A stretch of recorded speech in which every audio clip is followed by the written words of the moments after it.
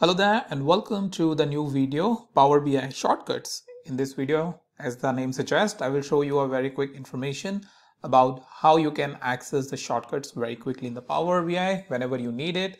Also, if you need to dive further into the Power BI shortcuts, then how you can do that.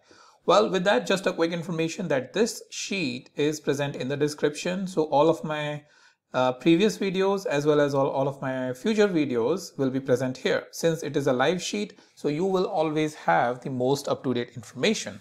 And I'm trying my best to put a single video every day so that you get most out of it from the sheet. And whenever you need it you can simply search and jump to that video by using the link present in this column B right? So Power BI shortcuts is the topic for today and let's go ahead in the Power BI. So here we are in the Power BI. You can be anywhere uh, uh, here in this Power BI. But if you need to access the shortcuts, you need to just press the shift and question mark. As soon as you press the question mark uh, after hitting the shift button in your Windows or in your Mac, then you will going to get this screen which will show you the keyboard shortcuts like the command and the shortcuts. So you have some of these commands to move focus between sections and things like those. Page navigation related uh, shortcut on the visual. The shortcuts are present here. The slicer accessibility option is present here. Also, if you want to dive deeper, like I said at the start of this video, here is this link where you can click and you can go to the keyboard shortcut page within the Power BI and as you can see it applies to Power BI desktop not to the Power BI service.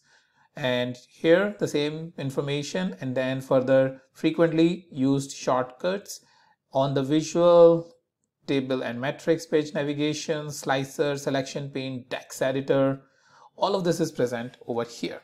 So that's something I wanted to tell you about uh, the different types of the shortcuts that is present here in this section and I hope you will enjoy it a lot as it increases the productivity significantly. And once you are master of the shortcuts you will see that the work which you usually complete let's say in hours uh, at least whatever, whatever you're completing in one hour something you would experience complete at least five or ten minutes less.